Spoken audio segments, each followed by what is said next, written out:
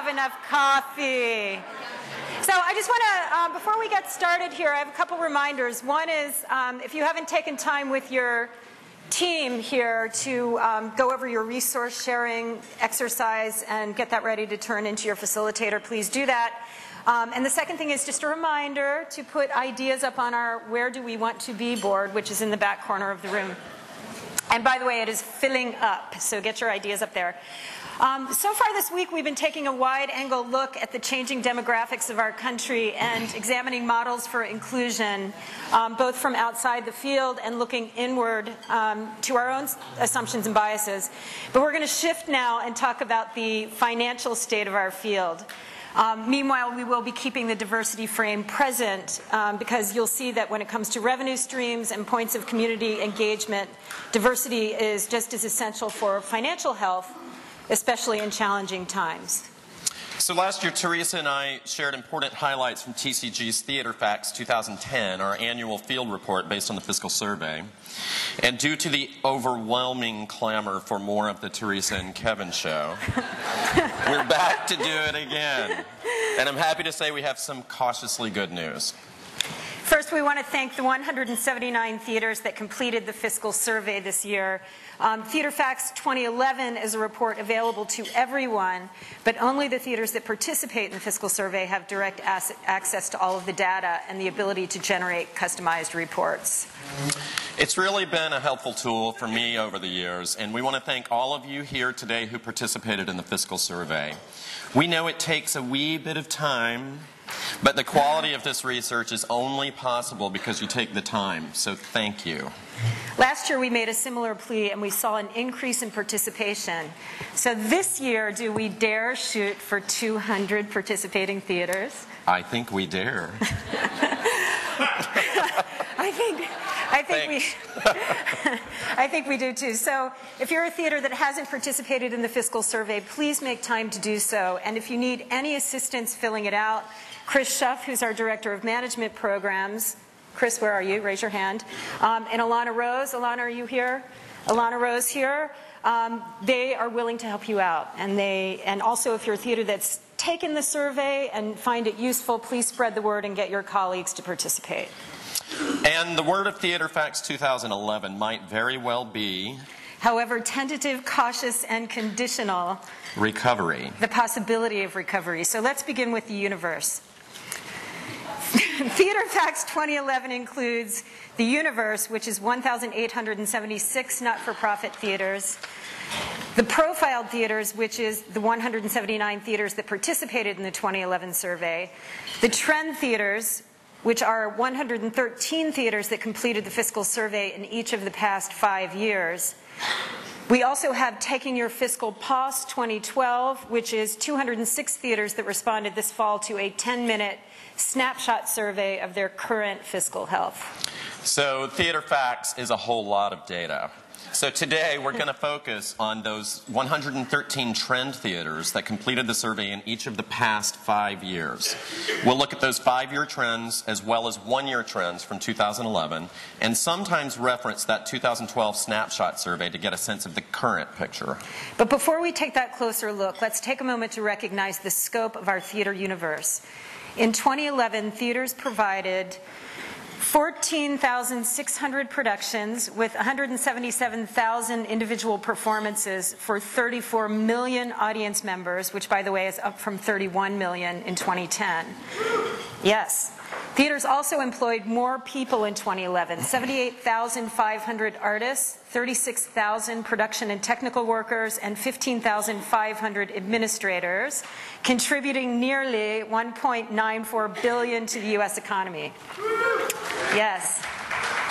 Now, while we must note that the universe is not the exact same set of theaters year to year, our trend theaters, those member theaters that have responded to the fiscal survey each year since 2007, also reveal a rise in overall attendance of 2.5% from 2010 to 2011.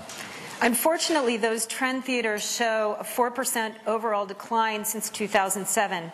However, the bump in attendance this past year could be a sign that the tentative economic recovery is beginning to bear fruit. The 2012 snapshot survey supports that possibility with nearly three quarters of respondents reporting similar or higher than expected overall paid attendance. There's also fruit to be found in the branches of CUNA, the change in unrestricted net assets. In 2011, 58% of the trend theaters reported a positive CUNA, the second straight year well over 50%, bouncing back from a five-year low of 40% in 2009. There are a number of trends driving this po positive shift in CUNA. Let's start with ticket sales. First, the bad news. The past five years have seen decreases of 1% in total number of single tickets sold, 16% in the average number of subscription tickets sold, and 4% in overall attendance. However, in 2011, those downward trends started pointing in the right direction, with the number of subscription tickets sold holding steady, a 5% increase from 2010 in total number of single tickets sold, and a 2.5% rise in overall attendance. 2011 also saw a rise in ticket income, with single ticket income leading the way, rising 7% in the past year and 13% over the past five. This increase is linked to a rise in single ticket prices of 5% in the last year and 7% over the past five. The 2012 Snapshot survey also saw nearly three quarters of respondents reporting ticket income equal to or greater than expected. Last year, we shared with you the rise in dynamic pricing, which for many theaters has become standard practice. While many theaters found success with dynamic pricing, particularly with a hit show, others voiced concern about accessibility and inclusion. When we reported last year that ticket prices were up but attendance was down, a forum attendee remarked, well, that sounds like a recipe for extinction. However, this year, with both attendance and ticket income on the rise, a more nuanced picture may be emerging, with some theaters noting that dynamic pricing allows them to be more inclusive by keeping ticket prices accessible for off-peak performances. But the real surprise is that the report of the death of subscriptions may have been greatly exaggerated.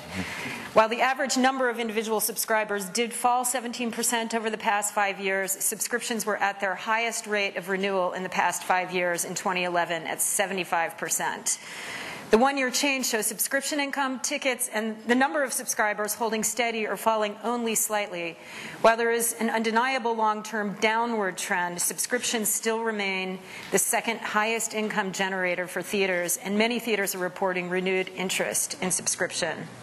Theaters are also reporting an increasing interest in process, with attendance at staged readings and workshops rising 16% in the past year and 81% over the past five.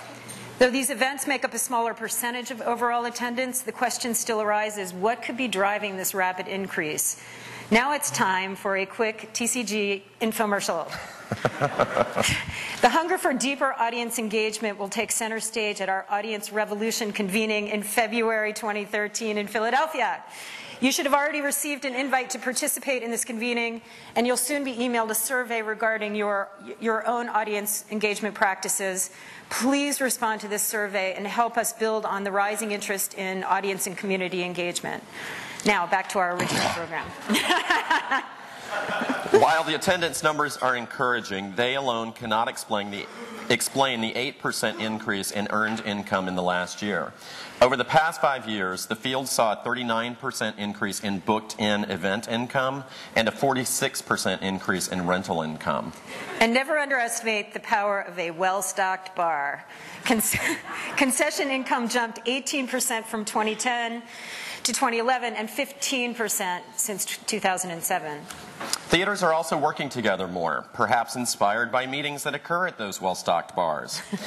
Five-year growth in co-production and enhancement fund income surpassed inflation by 25% and reached its highest level in 2011. The two-year trend of positive CUNA is also driven by something outside the theater, the stock market's ongoing, if uncertain, recovery. Average capital gains from investment assets rebounded 163% from 2010 to reach their five-year peak in 2011. This was especially important since endowment earnings and transfers fell 14% from 2010 and 39% from 2007's peak.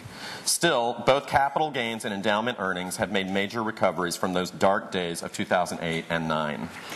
And while we can't pretend we're out of the woods, we must also entertain the possibility that our direction has shifted. A year ago, we stood here and spoke of glimmers of hope in an age of austerity. Those glimmers have grown, and not just on the earned income front.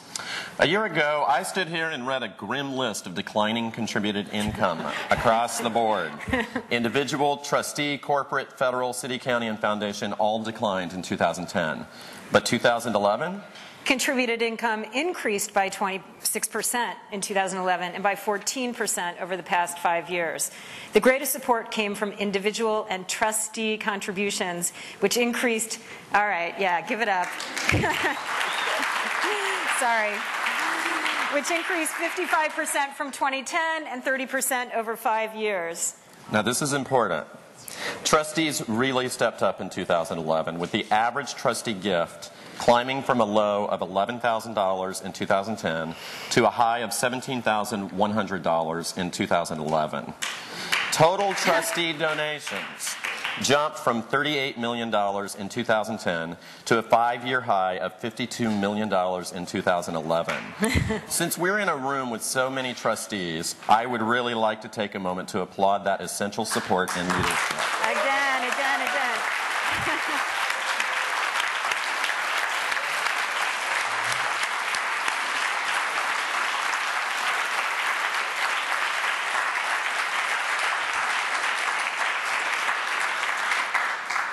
Trustee individual donations also increased, driven perhaps by a rise in capital campaign contributions. We'll come back to that.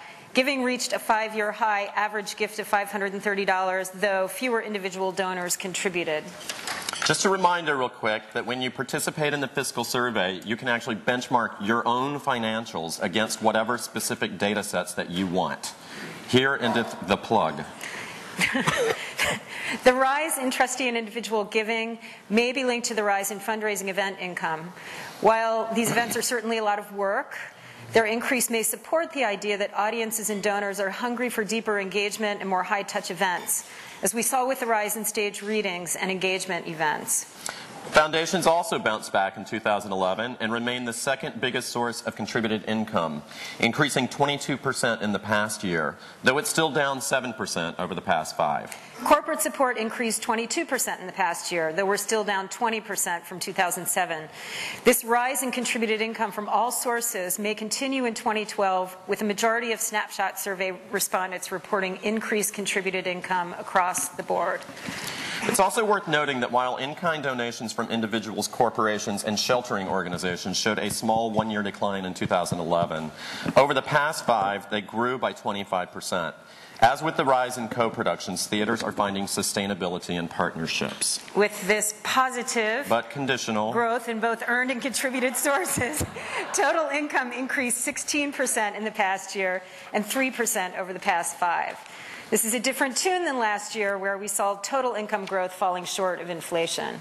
However, you may have heard two troubling words making a comeback in the news lately fiscal cliff this combination of expiring tax cuts and automatic spending cuts will surely affect theaters.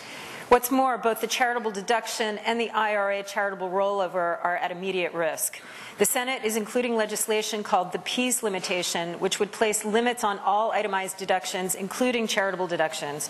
While some have called the provision a haircut, others believe it may reduce tax deductions by as much as 20% of their total value. Also at risk are the funding levels for the National Endowment for the Arts and the Arts and Education Program at the U.S. Department of Education. As our Congress attempts to avoid pulling a Thelma and Louise, now is the time to remind them of the intrinsic and economic value of the arts in fostering vibrant communities. We encourage you to write a letter congratulating your new and returning members of Congress that testifies to the importance of theater in your community. We can make a difference in Washington, but we need active participation in arts advocacy from everyone in the field. Thankfully, the size of our field is growing.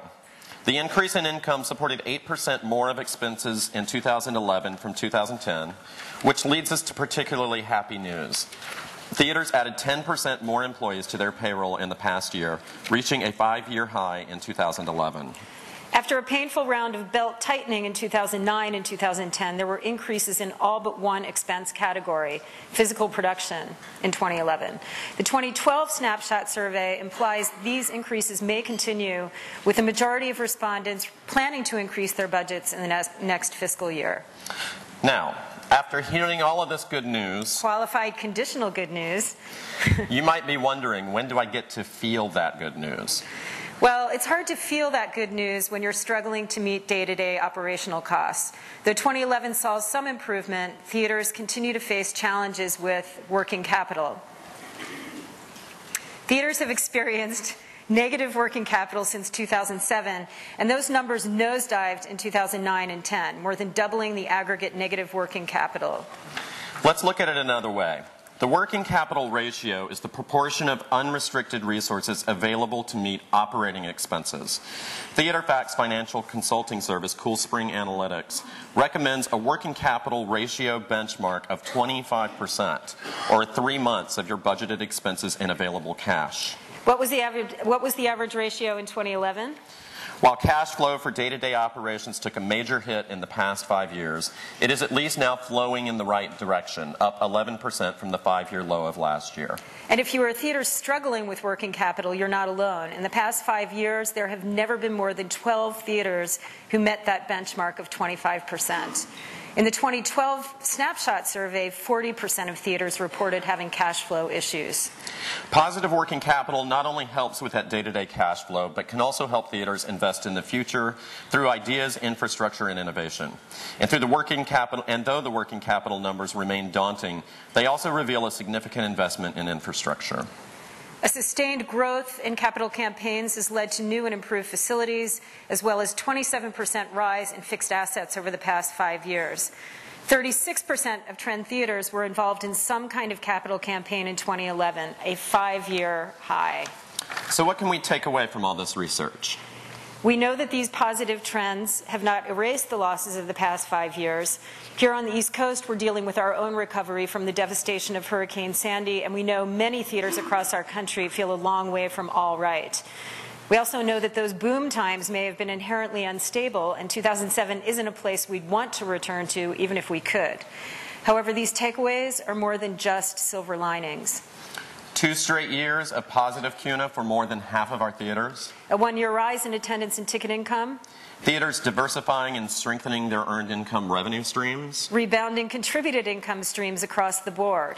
Working capital remains a major concern, but it is moving in the right direction. Our field may not be recovered, but at the very least, this looks like an opportunity for recovery if we can seize it together. Our task now is to build on the momentum, and as we strengthen the fiscal health of our organizations, remember that diversity in revenue streams, both earned and contributed, is essential not only to the challenging times, but as we move from sustaining to thriving. The rapid rise in engagement events suggests that a diversity in our points of community contact may also, also be increasingly essential, a theme we'll explore next February in our Audience Revolution convening in Philadelphia. Uh, as we now return to considering diversity in the context of our human resources, it's useful to remember that these principles are rooted in our fiscal and programmatic health as well.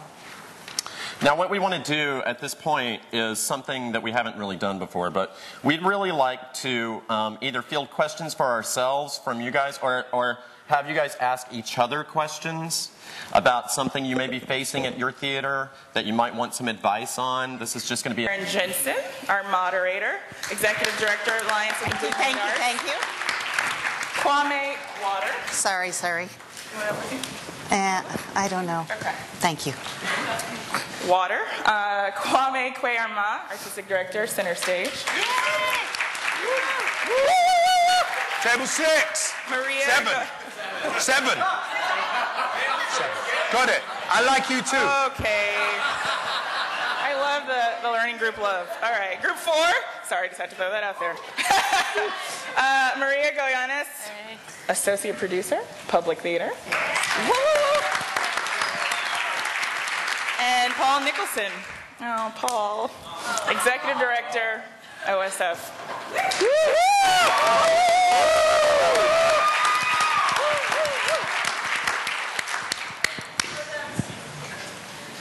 I'm on? I'm on. Hello, everybody. Thank you. It's uh, really lovely to be here to see old friends James, Marshall, Chu, Benny. I mean, lots of people in the room whom I know, Lori, and also to uh, meet newer friends like Kwame and, and others that I look forward to meeting in the future. Um, I said to Kwame, just we just huddled for a couple of minutes and I said, I don't know what your name means, but I was thinking it should mean you came at the right time. and then you said, I've heard that said before.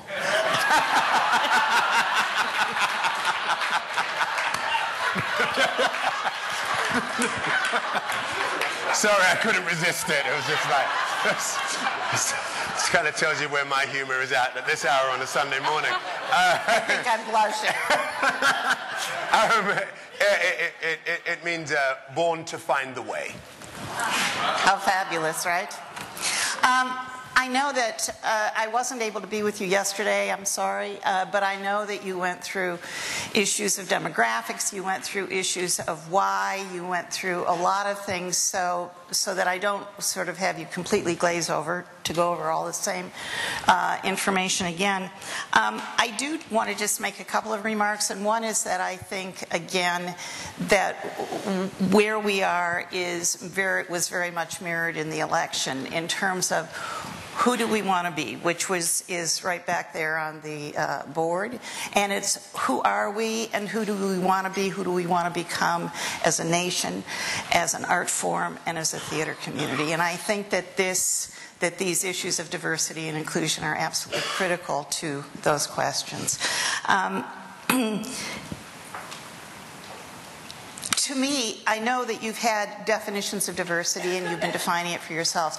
I just want to say that for me, for a long time, diversity refers to difference and a respect for that difference and our respecting everyone at the table. And uh, inclusion means that there's room for everyone at the table, in my view. Um, and I also think that diversity is our reality now. If you look around us, if you look at our neighborhoods, if you walk down our streets, in whatever form that means, however you do define it, and that inclusion is our future.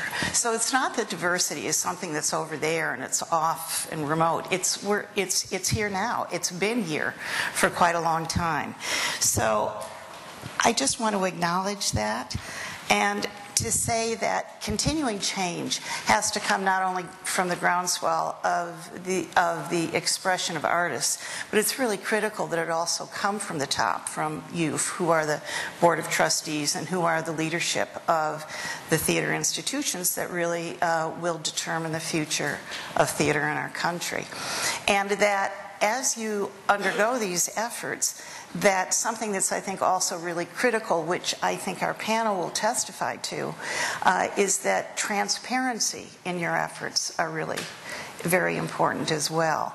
And that we'll talk about this later, but this kind of sharing of information uh, is very important. And I think that the resource page I looked at in the book is very good. I just mentioned to the panel, I think the only thing I didn't see on there is sort of the issue of how you communicate that message to the public and to artists, to your to the profession, to your peers, and the and the issue of accessibility. Now, accessibility means a lot of things, and it doesn't just relate to disability, although it certainly does relate to disability. But it's also accessibility of programming, accessibility of information, accessibility of um, of the way that the theater is responsive to the, the community. And again, however you define diversity within your geographical, socioeconomic, political circumstances. Um, what I want to ask our, our panelists, just to start, is for them, since I, there seems to be, I think it starts with an idea and a commitment to go forward with these issues of diversity and inclusion. And I'd like to ask each of them, just to begin, and then we'll get into their very specific models, but what for each of you was the tipping point? What was your point of entry into these issues? Paul? Oh, okay. Well, hi, everybody. Glad to have the chance to be here with you. Um, you know, I think that the tip, the, the, I wouldn't say the tipping point, but the point where um, I realized that, that uh, the issue of diversity was a really important one for us to grapple with as an organization um, started uh, when we were doing a production of The Tempest. And, uh, Which was when? When was this? Uh, this was in 92, 1992. 20 years ago. And uh, the, the, the, concept for uh, the for Caliban was that he was to be in chains. And the director, who was uh, an elderly white man, um, had, a, I think, a, a, terrific vision for the show, but this was, this was fairly central to him that, that Caliban be in chains. Caliban was black. And there was no attention paid by us as an organization to the issue of what this meant as far as slavery was concerned. And we started to hear from the company, from the actors within the company, you're not paying any attention here to this issue. And we realized we've got to do something about it. And that's really when we started to think about what do we need to put in place, what sort of structures, what sort of um, programming we need to put in place to su- support the work because we realized this is going to be with us for a long, long time. Good. Maria, do you want to? Yeah, I mean, uh, you know, I uh, I was just writing some notes. The I'm so glad to be here. By the way, you guys are awesome. Um, you know, so I started working at the public. I was one of George Wolfe's last hires. So I literally was like, he was resigning, and he was like, I'm getting you in before I go. And I was like, awesome. And I had, I felt lucky because I got to stay um, because I had worked for Oskar Eustis at Trinity Rep. Um, I am uh, Latina. Um, I'm Spanish and Dominican.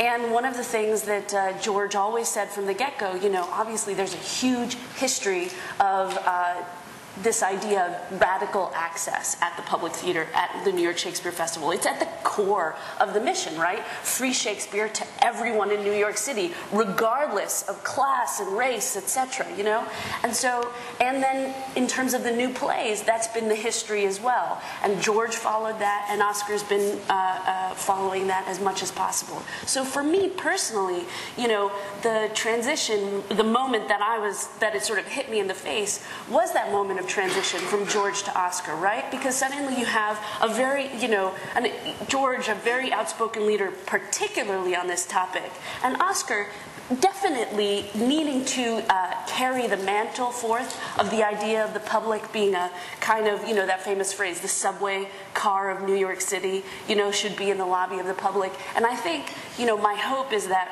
with the renovation of the public spaces at the building and sort of this idea of thinking about access in a new way, which I'll talk about a little bit later, um, we're continuing to do that. But for me personally, it was like, oh shit, we got to keep this going. because, you know, here you have an, an, emblem of that with George Wolfe, and then suddenly Oskar comes and I love the guy, but he's, you know, you know, he's from Minnesota, for God's sakes. It's like, you know, he's not there's anything bad from Minnesota. Be careful. But you don't necessarily look at him and go, you don't necessarily him and go, okay, he's the model of diversity in the, in the American theater, right? And so who are the people around him, myself and the producing team and other people who are influencing not only programming, but also thinking about these issues and reminding that there needs to be heat around these issues, right? Because aren't, those aren't necessarily the issues at the forefront of his mind and his, and his uh, uh, vision, you know what I mean? And I think that we're trying to do that as much as possible. I love Thank Minnesota. I, I, feel like I just. yeah. thank you. Well, first of all, can I just say how overjoyed I am to be uh, on a panel with both of you and both of your institutions. Both of you are, are role models to me. Your institutions, are, and as you know, I'm working with both of yeah. you, and it's it's it's such a joy to come into both of your institutions and know that, that what you're about to say and what you're saying is not rhetoric but reality. and it's, it's, it's, it's wonderful. Um, for my institution, and speaking for me, uh, evidently, um, inclusion and diversity, of, of course, has been from the get-go, personally. So rather, I don't have to channel it very, very far. Um, but in terms of my institution, I have to say I am a tremendously fortunate man, and it was part of the reason why I took the job with Center Stage, is that I inherited an institution that had this right at the center of their mission inclusion, diversity. A board not afraid of diversity. Um, evidently, um, before me had employed a female artistic director 20 odd years ago. The managing director before uh, Current Wonderful One was Asian. Um, I, so right from the top, the board were just like the best person for the job is the best person for the job. And even more than that, that we will make sure that we represent our community. And, and, that was tremendous. And then, of course, it went to Irene and the board again in terms of realizing that they were in Baltimore, 65% of the population being African American, and making sure that the programming of our theatre made sure that it reached out to that community and said, We know where we are, we know that you count. Right. We want you to feel not only wanted in this theatre, but that it's part of your DNA. Right. And so dedicated a third of the season to African American voices and diasporic voices. That's how I first arrived at the theatre. What's brilliant is that that can sound like an act of benevolence. Come in to the grand house and, and we'll let you in. But actually, historically, um, maybe seven of our top 10 grossing shows have been from our African American audience, primarily. So not only was there a need to do it, yes. in terms of cultural and, and moral need, there then was an economic need to continue it because not only did the community say thank you, but we will repay you by making sure that we come and we and we support you. So I'm a wonderfully lucky person that I've inherited an organization that actually cares about this way beyond rhetoric, that it is part of its DNA. Right. And my job, and of course we'll talk about this later, is to perpetuate it into the 21st century, to give it a 21st century smile to that welcome. Excellent. Thank you. That, great introduction. Um, I'd like to start with Paul to ask you about the protocols that you have instituted with the phenomenal, not only uh, for 20 years, but also more recently with the phenomenal Carmen Morgan uh, at OSF. If you'd like to speak to that. And, and I've said to Paul, I think your middle name is intentional and proactive uh, in terms of the work that they've done at OSF. Would you like to kind of speak to that? I'd be really happy to, to address some of the things that we, we have done. Of course, uh, um, as I indicated before, when we we go back about 20 years in, in, terms of thinking about this, and it was really um, in, in, about 96 or 97 when we started really kicking it off with the, uh, bringing in our first uh, diversity consultant. And we, we, since that time, we, have had a diversity consultant all the way through. And, and, I think this is a really important point because um, we, we recognize that we could not do it alone we needed to have resources. And that's something that I would encourage you to have a look at as, as, as you go forward in, in, in on this journey. Um, specifically, some of the things that uh, we have done, of course, the, uh, um, you know, we're, we're theatres, and we do theatre. And if our theatres don't reflect on stage what our um, philosophical bent is, then we're, we're, not going to be going anywhere. So I, I, that's the first point that I, I do want to say that uh, it's that the, the, the, programming in terms of the, the uh, the shows that we put in on and the way we do the work and who we do it with is pivotal in this whole thing. We're in a situation now where we are, some of you I, I know have, have, visited us, we're a, a, pretty small white town in southern Oregon. Um, we have approximately 45% of our actors are actors of color. Um, 46% of um, the shows we have done in the last uh, five years uh, have been uh, directed by women.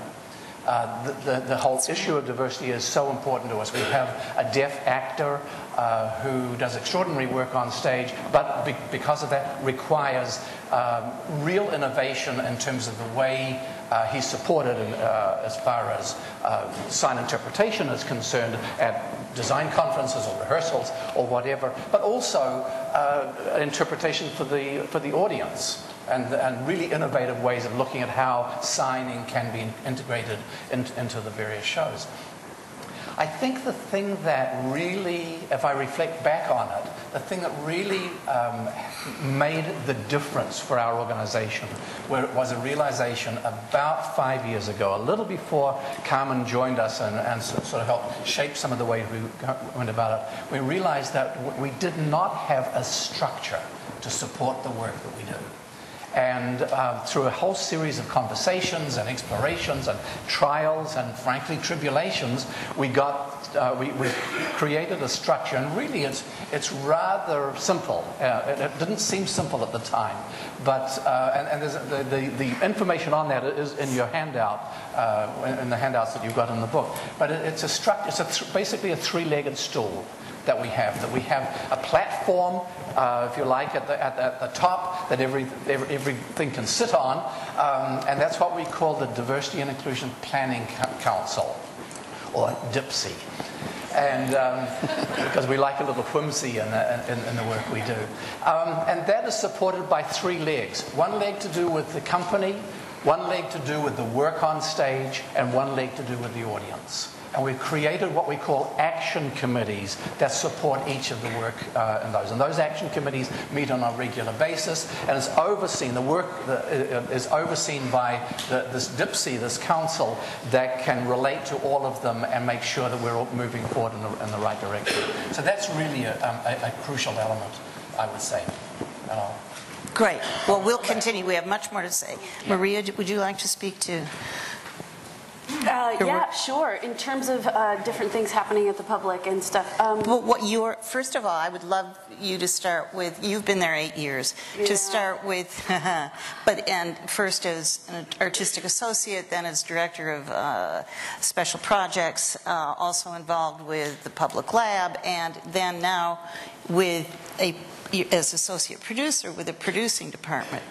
Yeah, well, so one of the things that I felt really strongly about so some, I got really lucky, right? So up until now, the associate producer has been sort of the lone ranger at the public, just doing all of the shows, working on all of them. It's it's an illustrious. I feel it's big shoes to fill because from Bernie Gersten to Jenny Gersten to um, uh, uh, many others who have gone through there.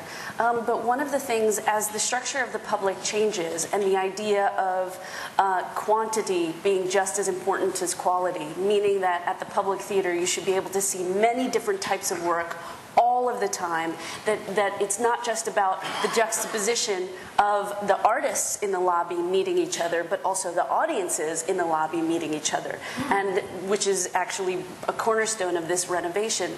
Um, I was able to uh, increase my department to create a producing department.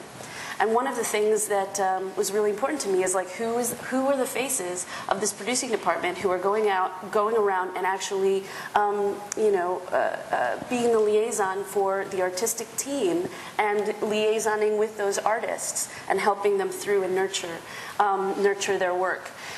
Um, I'm proud to say that we have, you know, a Mexican American on the producing department. We have um, a biracial, she's Southeast Asian Merope um, on the producing department. I'm, I'm working on it, right? And so in my in my world, uh, I feel really happy that the public is moving in this direction. That in that it's about um, the face that we also bring to the artists. You know, I think that's a really important thing. Um, it's been a core of the hiring policies at the public for a very long time to, to um, think about that kind of um, who's at the table, simply put, who is at the table. Um, and actually, Joe's Pub has been one of those uh, I keep thinking about them because they are such a small, they're a small entity, right? They program Joe's Pub outside of the public theater. The LLC is the restaurant and the bar and all this kind of stuff. That's a separate entity. But the programming and the marketing and all that stuff is just literally it's eight people. And they do 800 shows a year in that space. And that and and it's it's insane the kind of teamwork that they have to pull. They're there all the time and the shows are amazing. But one of the things that I really think is that they do not just in the diversity of programming that they do, they do world music, you know, shows like readings, musicals, etc., solo acts, folk music, etc. But in the staff, it's actually made up in that in, with a uh, complete eye towards who, what is the constituency that they actually are trying to reach. Um, and it's eight people from all different backgrounds, from all over the United States and all over New York City. Um, and I think about them a lot in terms of when I was thinking about the producing department, you know, and that kind of teamwork that we needed to build. Good. Thank you. Kwame? Can I, can I just jump back to a little thing that Paul said? Yeah. I mean, I, and, and again, this is not about blowing smoke. I, I arrived here, as you know, 18 months ago, and when one arrives in, in a post, you know, you have all your grand theories and you, you go, yeah, we're going to do this, this, this, this, this, and then you land and you go, okay. Um, you know, that which was going to take 10 seconds in your mind, you realize is going to take five years. Um, and, uh, but I landed at OSF for the very first time, and I was taken aback by the manifestation of my dreams, of that which I have articulated, hmm. which was absolute reality, and which was that you can lead from both the organizational side and from the artistic side, and that you send those twin messages, one out to the organization and to the field, that we take this thing seriously, and another thing out to your audience, which is this is just who we are, and join the party. And when I landed and I saw a Spanish Romeo and Juliet and party people talking about the Black Power movement, and then all the way with LB and LBJ. And what else did you have that was going on? And Merry Wives of Windsor, which is looking at gay marriage. And, and I just went, oh my God, this is subversively brilliant. And, that, in that these people are flying in from all over to see this. And, and, and the kind of audience that sometimes one can be slightly well well they are they hip? Are they really with it? And actually I sat with audiences who I thought was just you know a kind of middle, what I'd call middle England, middle, and they were sitting through this quiet subversion, taking it in, and coming out of the other side, enjoying it, because the art was done so well. So I just want to say it, it, it's, it, it, I don't wish it to blow smoke, but it really is, we can do this thing without fl- waving a big flag saying, by the way, let's bring diversity in and quality therefore will be reduced. It is, it's a, it's a false Hear, dichotomy. hear. And, uh, and I just want to say that. Um, so Speak thank to you now.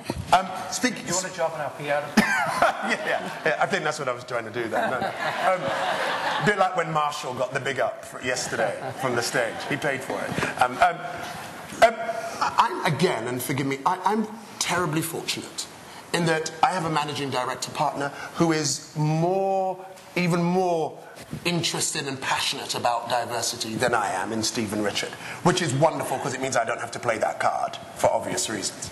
And, um, and so in our organization, one of the things that I'm, that I'm very interested in is looking at the model that was set up before I got there, and as I think as I hinted before, is and looking as to how I can make it work for the 21st century.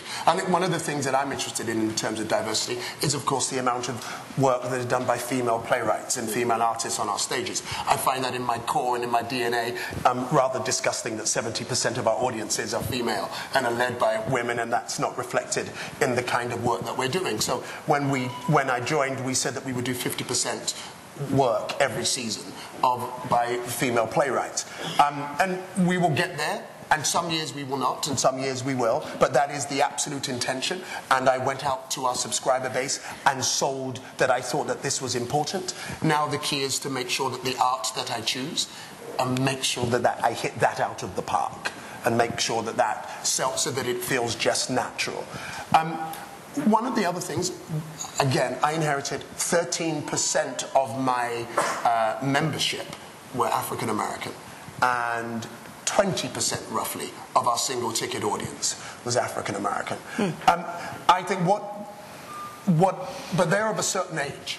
And so one of the big challenges I think that, that lies before for Stephen and I is how we make sure that the 45s or the 35s to 55s also feel now that they can come to the theatre and it's theirs because we don't have the August Wilson ticket that Irene had. The perfect storm of August coming in, being magnificent and brilliant, also being accepted by the white community and ending up on Broadway. So it automatically had all of that publicity and things attached to it. I now have to find that in Lydia and in Corey and in, in Katori. I have to be able to find the writers and hope that their slates are not filled for the next 10 years and get their plays onto our stage and say, come, new generation of African American and people of color, come to our theatre and know that it is not only for the older generation of African American, but it is also for you. Yes. And that's one of the major challenges that, that we're going to have over the next, or that I- in particular,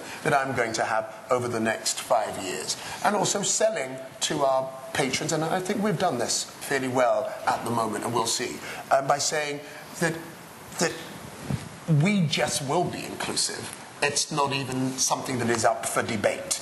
We just did it. And I would finally say, I opened up my first season with um, a, a kind of multicultural um, enemy of the people, where I just cast whoever I felt, I felt was the best actor for it. And it was really interesting at the beginning of, and, it, and the way that it ended up was that the lead character, Dr. Stockmore, was played by an African American actor.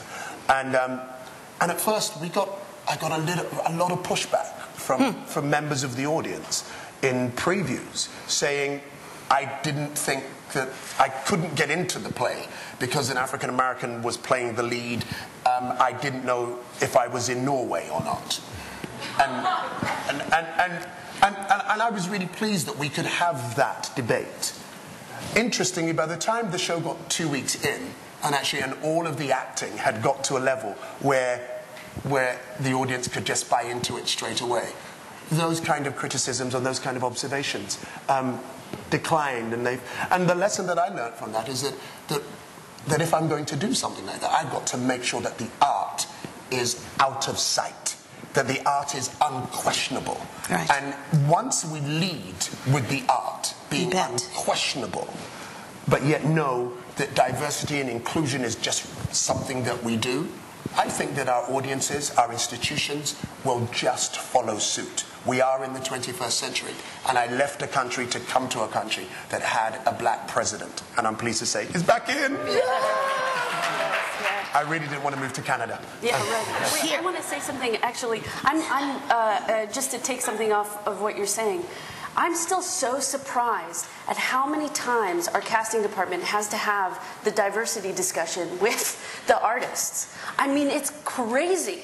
Specifically, You mean directors and writers? Yes. Right. Specifically to say, oh, who, you know, that, that, you know, you can't cast the, him as the daughter. Uh, him as the daughter. Yeah, right. That too. Him as the son. That's, it. That's true Let's go there.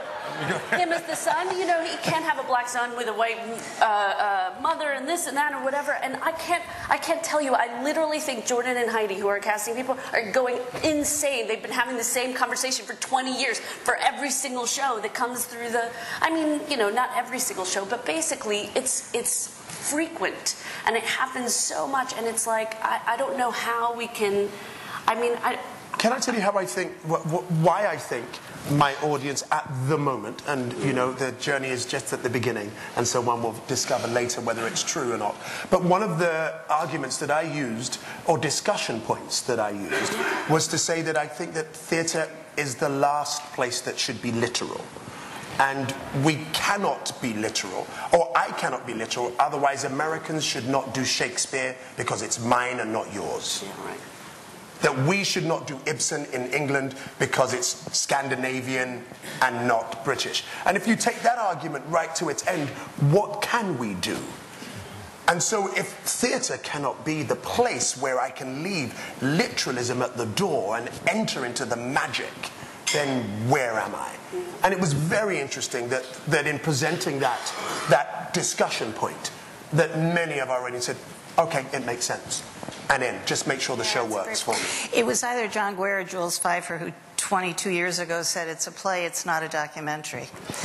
So, um, and it's where the imagination and creativity work creativity lives and works. Um, I wanted to say just a couple of things, and then I want you to talk more about your models. Uh, but it seems to me that A, what you're talking about is that each of you has demonstrated a real commitment. Uh, B, we know that it takes time, and that that you're able to accomplish certain things over a period of time, but not everything all at once. That you have also created benchmarks as you've gone along, and that as you've done that and met those, you then be able to create more benchmarks.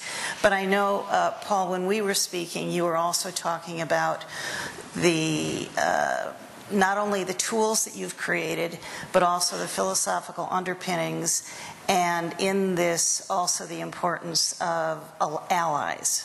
If you want to, if you speak to that. And I also, before we finish this, so I need your help on this, Chris, the timekeeper, that I also want to ask each of you, which you've gotten into a little bit about the challenges that you've met uh, along the way as well. Well, I think the, um, if I, if I, look at the models the, in, in, the organization and what, what, we've been able to accomplish, part, one of the, the, strongest things that we, we recognize is, uh, and we sort of, in a, in a, way, sort of stumbled into this. Um, uh, Freda Casillas, who was our audience development uh, manager, came to see Bill and me, Bill Rauch, our artistic director, and me one day and said, um, you guys are not on the same page as far as audience development is concerned. Um, Bill, for those of you who know him, is uh, very much uh, a, a um, an idealist, and uh, I'm very, very much, uh, I'm very practical and we, we, would, we would have the conversations and we would be going past each other. Freda says, I cannot do my work if you're not on the same page.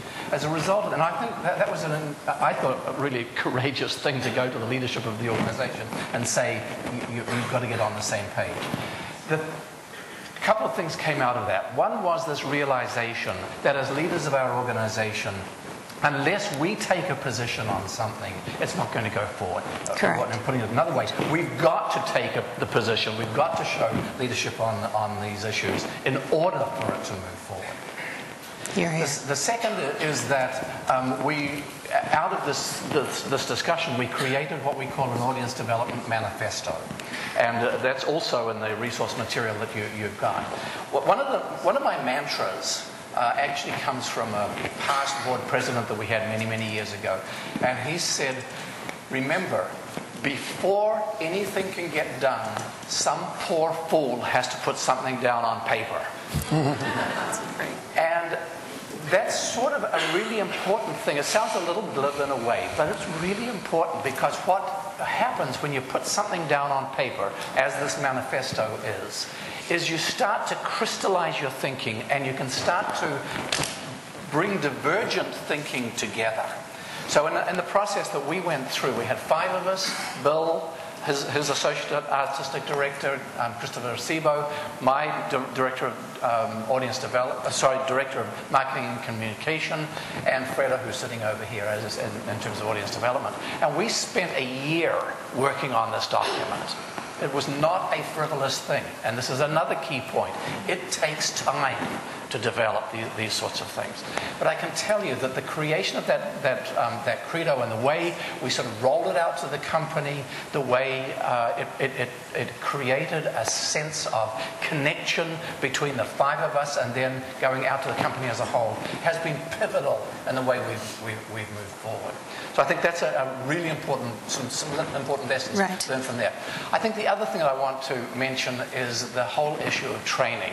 We've done um, through Carmen a great deal of training with the managers, excuse me, with many members of the company, um, with the board, and so we're all starting to sort of get, get a sense of some sort of commonality. Sounds like more cohesion, and sort cohesion, of a right. coalescing. However, I do also want to say that we still get pushback. Even though we've been doing And where does it come from? Well, it, it, it's both internal pushback and external pushback. We get pushback externally.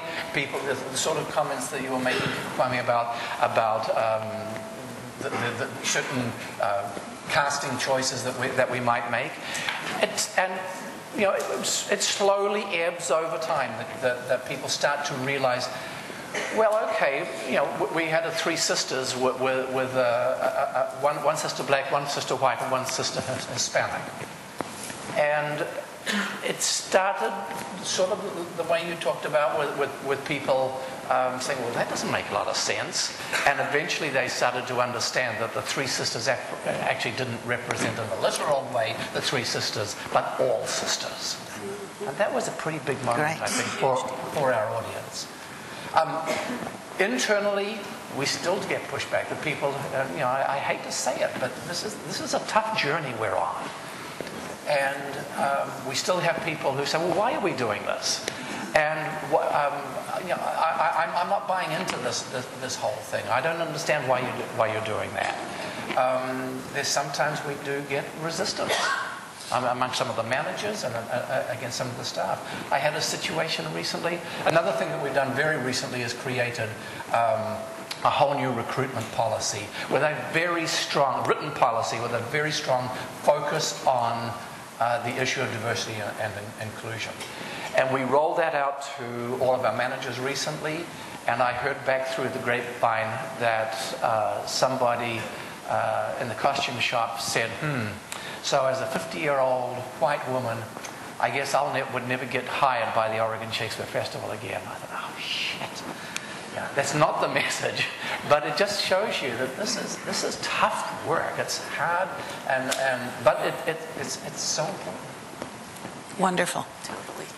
You know, one of the things I wanted to talk about here was um, a new uh, uh, program of sorts, a new initiative something's that. Oh, I can keep going. Um, a new initiative of sorts that's, that's coming up uh, at the public. Um, specifically, we're doing a.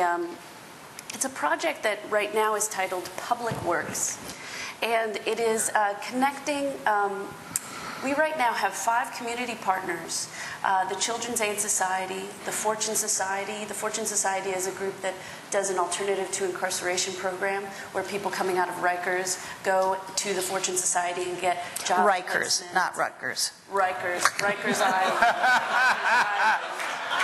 a different kind of prison. yeah, prison.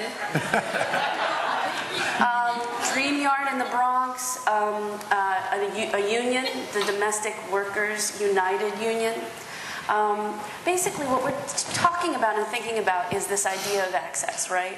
And this idea of um, transgressing the boundaries of audience in the theater. Because one of the things that we keep thinking is, you know, Shakespeare in the Park is awesome and great, and people go stand online, but now there's not a lot of people who actually can stand in line. you know, the line's pretty long, it gets to be a hard ticket sometimes. People don't come from the outer boroughs. So, you know, this is part of a bigger Uber idea um, that actually was piloted with the mobile unit. Um, you know, Joe Papp had a mobile unit when he first started uh, the New York Shakespeare Shakespeare Festival.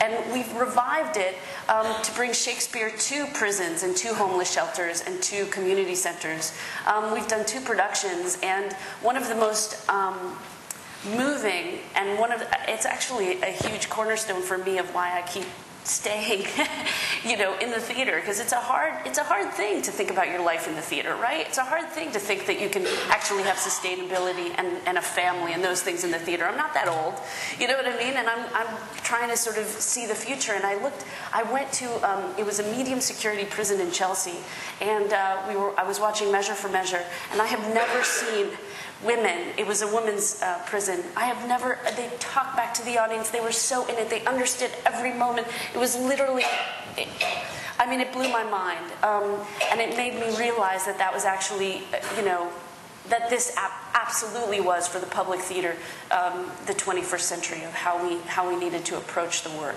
Um, and so with those five community partners, um, we're doing acting classes, we're doing you know dance classes with the Senior Citizen Center in Brownsville, you know, and the idea is hopefully, um, knock on wood, we'll be able to do a kind of community pageant at the Delacorte with the with. Uh, uh, cameos from other New York City groups um, and actually create art of high, the highest artistic quality, you know, um, with these community members, really have, help them see that theater has a place for them in their life too, um, which is which was the whole idea um, with Joe Papp and Shakespeare. It was literally he was like Shakespeare changed my life you know, as a young boy and growing up in Williamsburg, Brooklyn, and it can it should change yours too if you have access to it. Um, so it's it's a huge uh, it's a huge undertaking. Knock on wood that we'll be able to um, make it happen. It's wonderful. And it speaks to uh, community and it speaks to um, uh, being available, it speaks to relevancy, it speaks to accessibility. Uh, can you comment on what you're doing? Uh, if I may, just before please. that, but again, um, not to blow smoke again, but your initiative, your, your initiative, I, I, you know, I, your initiative with Classical Theatre of Harlem, Yeah. um, in terms of a play that starts with Detroit 67, which starts at the public, and then goes up into Harlem to say that this is not, we're not just saying for you to come up to us, but we will bring the art that we produce to you Right. and make you, audience, feel inclusive. So it's our home, and I, I think that's a wonderful initiative. Well, so this season, what we're doing is an uptown downtown partnership with Classical Theater of Harlem, National Black Theater, and the public with this play by a major new American artist, Detroit 67, by Dominique Morisseau. And Kwame is actually. I know, amazing, right? She's the best.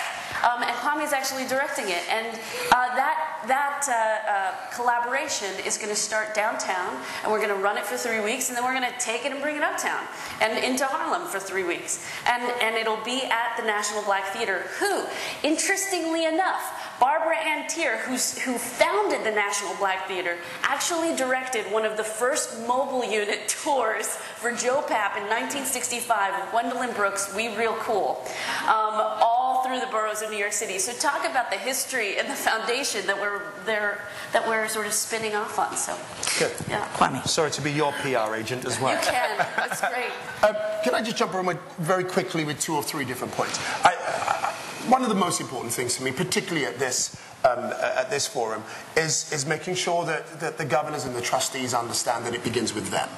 Um, Stephen and I are amid a, a strategic plan for the next five to however long uh, it is. And um, when we were sitting down just talking through our points, and the head of that board, a wonderful man called Ed, said, um, Where's diversity here? And we said, Well, we're doing it, it's, it's just him. And he said, that if you don't say it, if you don't articulate it every single time, it means that it's no longer a priority for the organization. And it might just slip.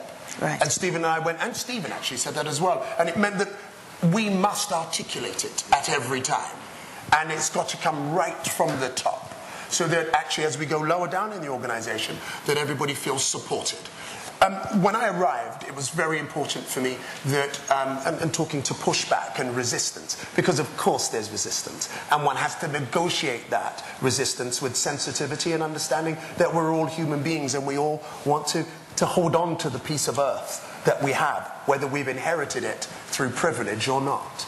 Um, and one of the interesting things was, I, Steve and I sat down and said, so, of course, I'm an artist director and I'm of colour, but it, if I look around the rest of our senior management at our theatre, um, I, I don't see any, any other colour, I know people of colour. And um, so let's have a talk about diversity. You know the board supports it. You know that we support it. And of course, then one gets into some of the beautifully framed questions that we were debating yesterday, which is the kind of contradiction of, well, if we start going down the road of diversity, do you want us as department heads to look for maybe underqualified people? And one, again, has to negotiate that, I think, with a sense of leadership, which is simply that, particularly for us in a city of 65% African Americans, even though that's the majority of our patrons come from our suburbs as well, but that we must be seen and must make sure that we are representative. One of the things that, and, and negotiating with that pushback, I think, as I've said, needs leadership and needs it to be written down. That we have to write it down and say, this we will do. I think the other thing is, is what am I doing? as a person of color. And I realize again the great privilege that I have as a person of, of color leading a national institution like Center Stage. And know that there just aren't that many other black men doing that, need I say, black women. And so I made sure, and we made sure, that, uh, that I had an artistic directing intern um, straight away. We'd never had that before in the building. That will always be someone of color to make sure that I am making that, that the baton is being passed on and that that information is being given to, and also that that person will be local. That they must come from Baltimore or Maryland. But that's part of the leadership. That's part of the leadership in making sure. Now, there's pushback on that. Of course, there is. You know, in fact, there's other interns who say, "Oh, I hear I couldn't apply for that post because I'm not of color."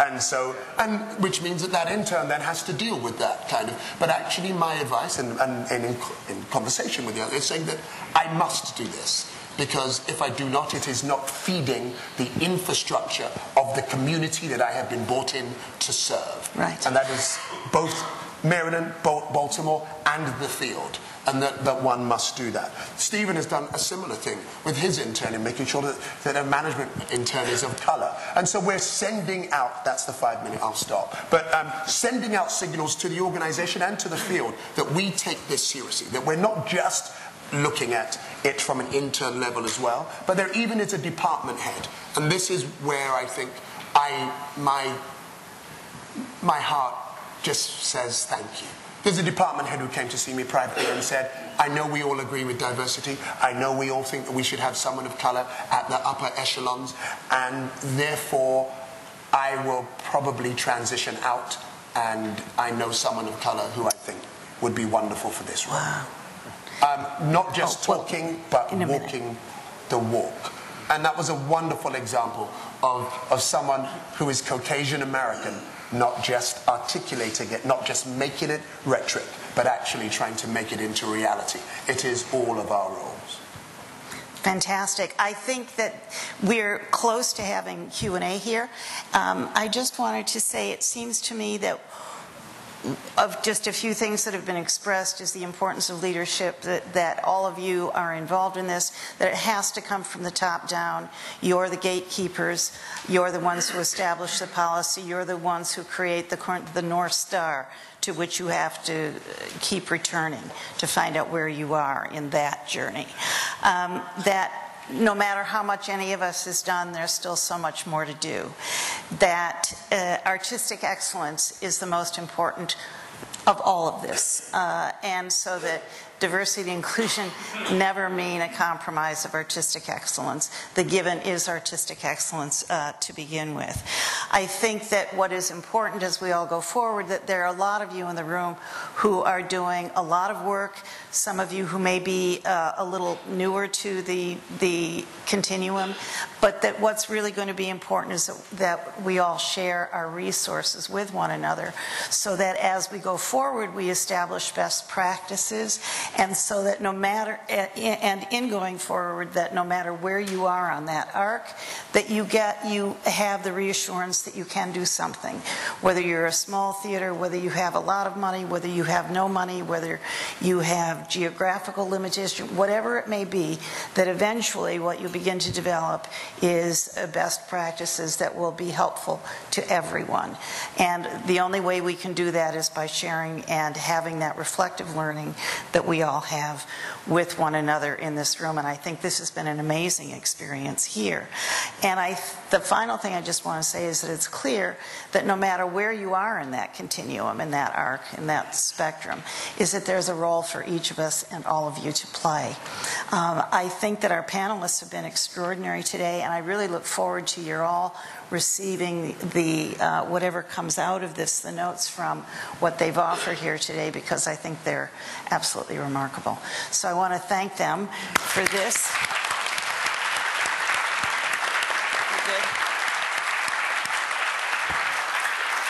And I want to open it up to Q and A. And I before I, I, saw Ralph. Ralph is it right? Yes. Yeah, I saw Ralph's hand up even before, like five minutes before the Q and A. So uh, let's go to Ralph first.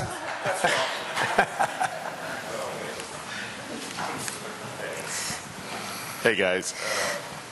Hello everybody. Great panel. Uh, and uh, thanks for all the work that you all do. Um, I love each and every one of you for what you've done and what you're continuing to do. Um, I'm Ralph Remington, Director of Theater Musical Theater at the National Endowment for the Arts. And um, uh, Rocco and I have had, uh, Rocco Landesman has been the chair of the NEA, and I have had some intense conversations, uh, which, you know, we are highly supportive of uh, diversity and senior leadership and greater, having greater diversity and senior leadership in these organizations. So with that in mind, what a lot, you know, we get a lot of complaints and a lot of issues, and when we, people come in for panels, they, they bring up um, a lot of things. And over the last four or five panels, um, several different panelists, not just uh, people of color, but uh, white folks as well, have said that they believe that some theaters may be practicing exclusionary hiring practices uh, in violation of Title 5, 6, and 7 of the Civil Rights Act. And uh, what they say, why they say this is because there are so many anecdotal stories about, uh, you know, 12, 14 uh, people that are brought to the board of a lot of these theaters. There are frequently people of color in that mix, really qualified people of color. But the last two or three people that are brought to the board are almost always white people. And so, in reaction to that, and Joseph Haj, who has been a great ally in this issue, has advocated, among others, um, for an adoption of the Rooney Rule uh, in theater. Whereas, if, um, for those of you who don't know, it comes out of football, where after in NFL, what they did was they found that time after time head leadership positions were going to head coaching positions were going to uh, white people, even though they were qualified people of color, until they decided as a group that we will at least interview one person of color in every final grouping, whether, you know, when you have your two or three people. So, a fairly long question and statement, but just want to get your reactions to what, what are your feelings about that as a panel, about adopting the Rooney Rule uh, throughout uh, the American theater? Thanks. Paul, I actually saw that you had uh, spoken about that, right, with uh, in Yeah. an earlier email. So would I, will ask you to respond. Okay, to that I can talk a little bit about it. I actually talked with the chief counsel for the Seahawks um, football team about how this actually works in practice. and um, and it, it was illuminating just what a difference it's made that it's taken the number of black coaches from about 5% up to just on 30% um, today. And he, he uh, absolutely attributed the, the Rooney rule um, to that, that uh, to, to, to that result. Um, there are some downsides um, to it that, that um, apparently um, it, it, to some degree um, because of the, the desire, and, I, I, and here's the lesson. I, I would say for us, the because of the desire, it can lead to people not at the, the head coach level, but at the, the the next level down, not being as as experienced as uh, as, as they would normally want. And so, what we, if we're thinking about as a, as a field adopting something like this, we have to be very aware that, that part of the deal is giving a broader range of experience, a, a- broader um, d- diversity of, of, of um, prospective candidates, a lot of experience uh, in the field. So, I think it's wor- really worth exploring. I know the arguments against the pi- about the pipeline and, and so on, but frankly, come on. I totally agree But also speaks to, but it also speaks to uh, establishing achievable outcomes. Right, and uh, uh, yeah, and, and further, I talked about our recruitment policy that we adopted um, just recently, and an important element of that is a requirement to to have people of colour in that candidate pool, that they've got to be there, and the expectation is that in the group that will be um, interviewed, there's at least one one person of colour. Does either of you want to respond to that? Because I know we have several I mean, other hell questions. yes. All I have to say is hell yes. I mean, and not only not only that, not only because these uh, artists of color and leaders of color should be leading these institutions, but hell, come on, man. We all know that first interview sucks. You know what I mean? Exactly. And it's hard, right? And so if you're not actually in the pool and moving through and actually getting as part of that, that group of people, then you don't actually learn what it, what it is that you need to be working on professionally. It's, it's about professional development, period. And if you don't have the opportunity for that kind of professional development to meet a board and finally have an interview with a board, it's a big deal. And that's scary. It could be scary the first time, you know? I could only say ditto. Ditto. All right. There were, I'm sorry, there, boy, the hands are going up. There were, uh, I want, there was a gentleman in back here, yes. Uh, Roche Schulfer from the Goodman. Uh, and I was Oh, really going to talk about audience development, but if people want to talk about the Rooney Rule, I'll defer my, or, or you know, pass on the, the baton to something else. Okay. Well, it was- it was just a perspective uh, talking about, uh, and I guess talking to theaters in this room who are, are thinking about audience development and diversifying their audience. And, and uh, when we back in 1978 proactively decided that the Goodman should be reflective of the community. Uh, it, you know, we, we changed our programming and I mean, it doesn't take long in this business to go from a young Turk to an old fart, and I've made that transition. But back then, I actually was a young Turk, and we thought we will diversify our programming. Audiences will flock. We will be heroes in the community. It will be great. And of course, none of that happened. White audiences were alienated. Uh, African American audiences and audiences of color didn't trust our commitment.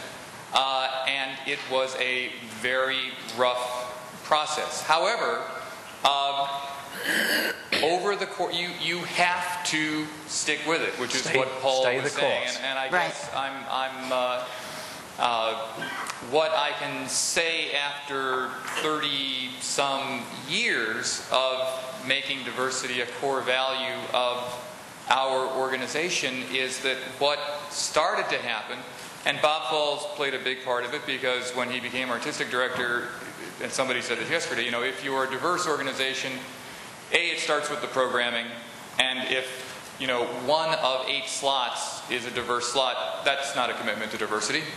Uh, so 33 to, 4 to 50 percent um, started to make up our seasons, and over the course of time, not only audiences but potential board members, artists uh, began to gravitate to the Goodman. So that, uh, and, and the point of all this is to say that it does take time, but what we now have is the largest audience that we've ever had, uh, the most diverse audience that we've ever had, and uh, and not just in terms of individuals of color, but you know there are there are lots of other white people out there who are interested in things outside of their own narrow perspective, and so they're intrigued by the the range of programming that we're doing as well. Um, so, you know, do it.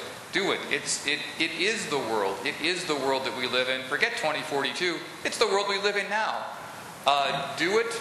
Uh, you know, TCG's opportunity to, to, to share resources of people who've had experience in this area who can be helpful when, you know, audiences rebel. I got to say, though, you know, what's really uh, ironic about all this is that the, the first play that we did with non-traditional casting or colorblind casting was An Enemy of the People. it was Paul Winfield and Bill Marshall. And, you know, it's sort of both depressing, you know, in general to hear that they're still asking the same damn questions. You know, some white people are still asking the same damn questions 30 years later. It's also, it makes me proud to be, you know, like in, in Chicago and Illinois, the the bluest of blue states because those questions aren't asked anymore in our community. Colorblind casting is, is a fact of life. I mean, yeah, sure. Are they asked once in a while? Do we still get people who say, you know, you, you got a great theater, but we could, you could, like, do you have to do so much black stuff, you know? But hey, it's America. You're, you're, you're never going to not get pushback. Uh, the point is, you're going to have a whole new. Uh, world open up to you that you could never have imagined. Great point. Um, I think you were next, yes? And then you, sir. I, I woke up this morning thinking about February And, but, but wait, it's actually a very positive statement that I want to make and a question. Um, I have noticed that it's easy for us as artists to be in this um, interesting place of being often the voice, the, the mouthpiece for what's not right and what isn't working, and um, striving for what can always be better. 15 years ago, I wouldn't have had a career were it not for February. Amen. And um, it's not about being a champion of only shows of color can happen in certain months, but about understanding from which we came and asking theaters to use us as mouthpieces for how to go forward so that we're put in the position more of being able to talk about the companies that are doing it the way it should be done so that we have the freedom to also create uh, critique those companies that are doing it the way it should be done. Here, here. Um, but I think it also it has to do with rem- remembering that uh, your artists are one of your greatest tools for being an advocate, so that we don't have to have we don't have to just have a contentious relationship. Um, so I say thank you for February, and I I also appreciate that it has been five years since a play of mine has been produced in February. So um, uh, let's not, please don't, don't just go, oh no, okay, no, February, fine, we tried. Um, you know, produce us in February sometimes. And, but it's a short month, I will say. That's less money for us. And yay to April and, you know, June. Thank you. Yes. Oh, oh, this will be the last question, apparently. We're getting the. First of all, I want to um, give a shout out to TCG for taking on this particular discussion.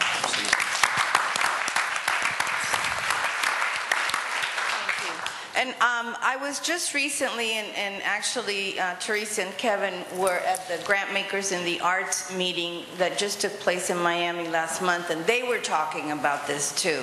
So, um, having been in this discussion for about 25 years, uh, it really became out of um, style for a long time. So the fact that it's bubbling back up into the consciousness of bodies like this, I think really deserves, um, you know, just owning that and, and celebrating that.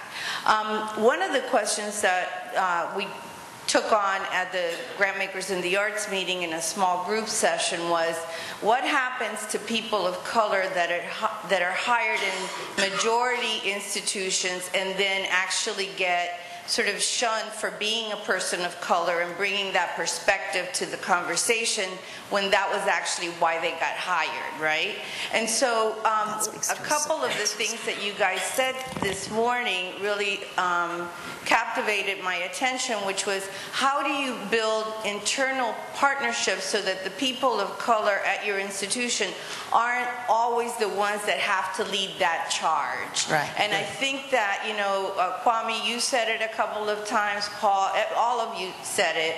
Um, but as we start codifying and analyzing things that have worked in some of our spaces um, for the larger group, what are some of the strategies and tactics to building those internal coalitions to make this a fight that we're all taking on as a field versus, you know, the person of color who gets hired? Great point. Thank you.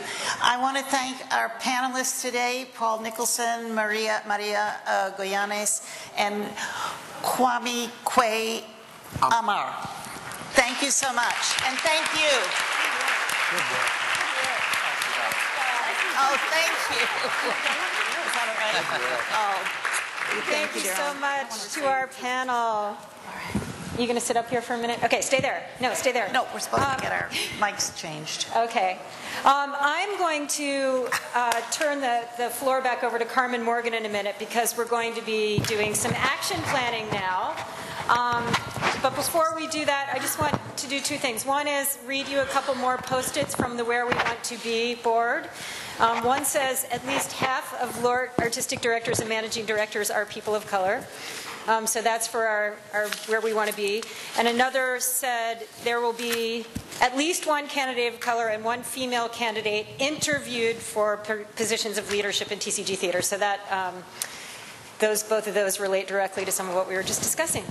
Um, I also just thought you might be interested in knowing because we've talked about TCG's strategic planning, uh, and we had a great process with our board and staff that took place over the last year or so.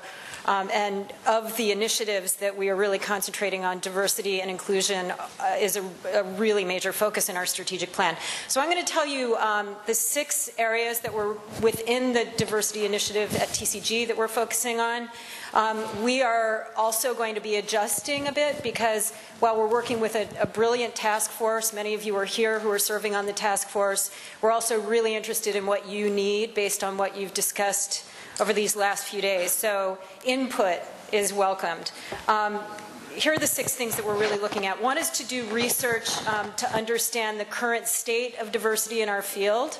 Um, so really looking at a baseline so that as we go forward, we have something to, to measure against.